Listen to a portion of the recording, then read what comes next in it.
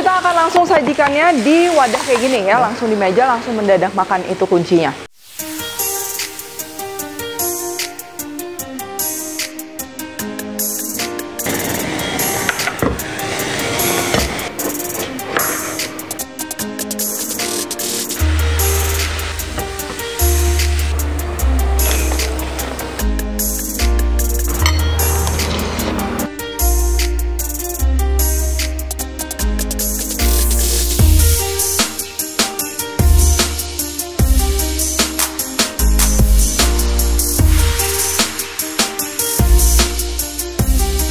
Buku keduaku sudah terbit ya. Kalian bisa dapatkan secara online atau di toko buku seluruh Indonesia. Jangan sampai kehabisan. Welcome back to my channel, Devina Hermawan. Hari ini kita akan bikin beef pepper rice yang populer itu di Pepperlands ya. Mungkin kalau kalian pernah coba gitu mau bikin di rumah bisa banget. Atau bahkan kalau misalnya kalian nggak pernah coba atau di kota kalian nggak ada Pepperlands tapi penasaran, nah bikin aja. Ini bakalan gampang, simple dan juga bahan-bahannya kita akan pakai yang mudah ditemukan juga. Oh ya, dan untuk peralatannya juga ini cukup pakai non-stick pan kayak gini ya. Dan juga nanti kita akan perlu satu panci untuk bikin si sausnya ya. Jadi kalau biasa di restoran tuh kan pakai hot plate. Nah, kalau kalian punya cast iron atau punya hot plate itu bisa banget dipakai. Cuman kalau misalnya nggak ada, kita pakai non-stick pan aja. Nah, untuk komponennya juga nanti akan simple, nasi, topping, termasuk beefnya, dan juga nanti kita akan bikin sausnya. Dan aku akan pakai ini, US flank beef dari Meat the Boss. Nah, untuk bumbunya ini kita akan pakainya satu jenis aja ya. Jadi kita akan bikin yang honey garlic sauce. Kalau misalnya kita ke Pepperlands kan ada dua jenis kalau nggak salah. Satu yang lebih kayak teriyaki dan satunya lagi lebih garlic sauce yang asin ya kalau aku nggak salah. Nah ini kita gabung aja biar lebih praktis. Oke langsung aja ini bahan-bahannya. Pertama yang untuk bumbunya dulu ya kita akan perlu bawang putih bawang bombay dan juga minyak yang akan kita blender halus. Lalu bahan lainnya di sini kita akan perlu kecap asin. Mau pakai yang Jepang mau pakai yang lokal itu masih bisa ya dua-duanya. Lalu ada mirin. Mirin kalian mau ganti jus apel bisa mau ganti mirin halal juga bisa. Lalu cooking sake ya arak masak ini kalian bisa di skip aja. Kalau nggak mau nggak usah dipusingin di skip aja nggak masalah. Lalu madu dan juga sedikit minyak wijen. Untuk aromatiknya di sini aku akan tambahin jahe dan juga dashi powder atau kalian bisa pakai kaldu bubuk atau penyedap lainnya. Dan juga satu hal lagi nih kalau misalnya aku kan suka masak pakai madu gitu ya. Cuman kalau kalian rasa takut itu berbahaya tinggal di skip aja bisa diganti corn syrup. Kalau nggak diganti uh, apa golden syrup kalau nggak diganti gula aja ya jadi simple aja kalau nggak mau pakai ya tinggal di skip lalu untuk beefnya di sini aku pakai US flank beef Nah, jadi flank ini tuh potongan daging sapi yang diambilnya dari otot perut ya atau belly. Jadi pastinya juga teksturnya tuh empuk, tapi kandungan lemaknya tuh masih oke, okay, nggak terlalu banyak. Lalu tentunya kita akan perlu nasi, nasi putih pakai yang udah matang, daun bawang, butter, dan juga ini jagung. Oke, yang pertama ini kita akan uh, bikin dulu sausnya.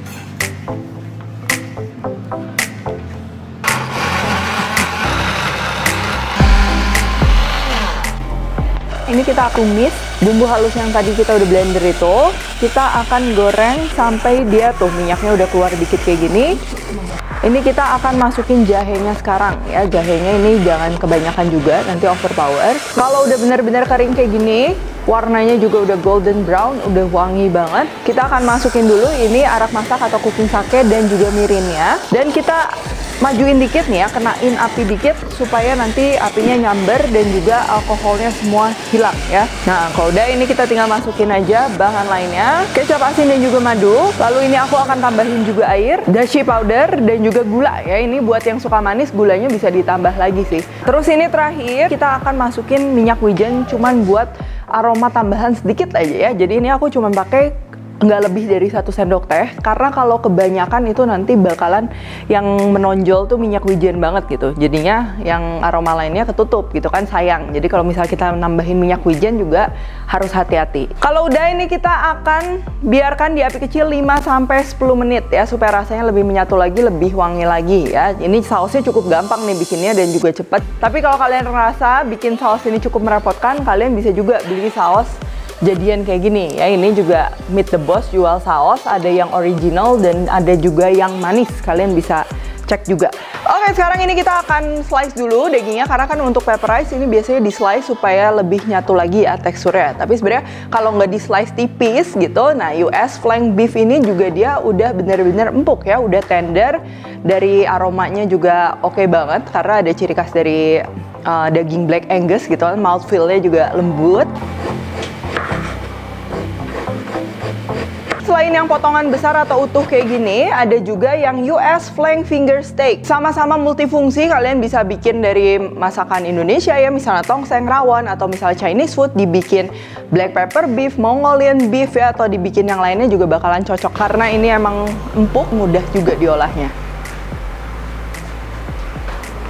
Oke, okay, praktis banget. Sekarang ini yang perlu kita masak cuman sausnya aja. Sisanya ini kita akan uh, pakai non-stick pan kayak gini. Cuman kalau non-stick pan kayak gini, kita harus hati-hati nanti makannya jangan pakai sendok metal gini ya. Untuk ngaduknya juga pastikan yang non-metal. Jadi bisa pakai yang nylon, kalau nggak bisa pakai yang silikon, bisa pakai yang kayu gitu kan. Itu kan banyak ya. Nah ini dalam keadaan dingin, aku kasih sedikit minyak ya. Terus kita cetak nasinya. Nah sekarang kita akan uh, panggang dulu sedikit nasinya. Ini tujuannya supaya bikin kerak di bawahnya. Cuman kalau kalian nggak suka nasi berkerak, jadinya nggak usah ada tahap ini. Nanti kita langsung susun aja daging, jagung, dan lain-lain ya.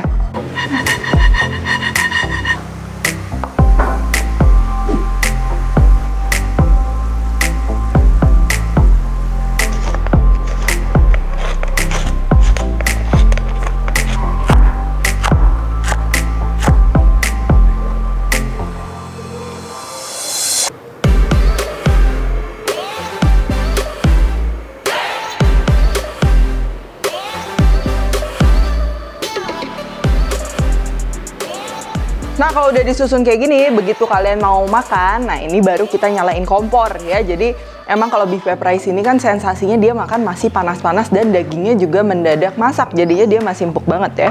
Ini kita langsung aja pakai api besar. Nah ini pertama-tama kita jangan langsung aduk. Daging yang di samping-sampingnya ini kita bolak-balik dulu. Nah kalau udah setengah matang kayak gini, ini kita akan taruh sausnya ya. Ya udah kayak gini, kita akan aduk rata semuanya. Hmm, ini wangi banget. Jadi jangan lupa juga untuk tambahin butter ya. Kurang lebih untuk satu porsi itu satu sendok makan butter. Jadi butter itu juga dia bakal bikin hidangannya ini juga wangi dan juga uh, beda dibanding kayak beef bowl atau apa gitu ya. Kalau udah kayak gini, udah cukup wangi dan juga nggak terlalu berair, ini kita langsung aja matikan api. Dan kita akan langsung sajikannya di wadah kayak gini ya, langsung di meja, langsung mendadak makan itu kuncinya.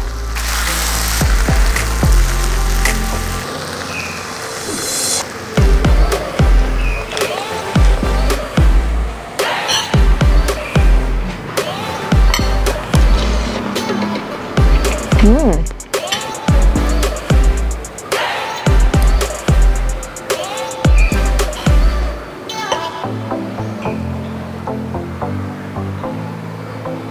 Ini untuk dagingnya juga kalian bisa kasih ekstra saus ya kalau mau. Hmm. Nasinya tuh gurih, terus dia ada kerak-keraknya juga sedikit karena tadi kan kita goreng dulu di awal ya. Dan dagingnya juga benar-benar lembut banget. Jadi kalau misalnya kita ngolah daging, terus dagingnya berkualitas, empuk itu pastinya mudah banget gitu kan. Diapain juga dia bakalan empuk, lembut, dan pastinya enak. Nah, selain yang beef pepper rice gini, kalau kalian lihat di pepper lunch itu kan ada juga yang hidangan steak gitu, tinggal pakai sayur-sayuran. Nah, itu juga bisa banget ya, kalian tinggal pakai beef flanknya tadi, itu dia mungkin slice-nya dia lebih tebal. Atau bisa juga kalian pakai yang flank finger steak ini ya, untuk misalnya kalau slice itu kan dia lebih kayak masuk mulut tuh dia lembut gitu, gampang digigit. Nah, kalau pengen yang lebih steak lagi, pakai yang finger steak itu juga itu bakalan empuk dan juga enak. Dan untuk topping, nah ini kalian bisa juga nih pakai ditambahin black pepper, ditambahin sausnya lagi kalau mau lebih asin. Dan bisa juga pakai cabai rawit gitu kan, itu lebih cocok lagi pastinya di lidah ya, bikin segar, bikin enak bikin melek. Oke kalau gitu thank you for watching. Jangan lupa juga untuk cek Instagramnya Meet the Boss karena produknya juga banyak banget nih. Ada yang slice, terus tadi juga aku udah share tentang yang saus siap pakai dan juga ada ebi furai uh, jumbo ya. Itu bisa banget langsung kalian cek dan juga bisa dibeli di Tokopedia ya. Kalau kalian recook juga jangan lupa tag at Devina Hermawan at Devis Pantry, like, subscribe, share, komen, dan lain-lain. Stay tune terus and see you in the next video.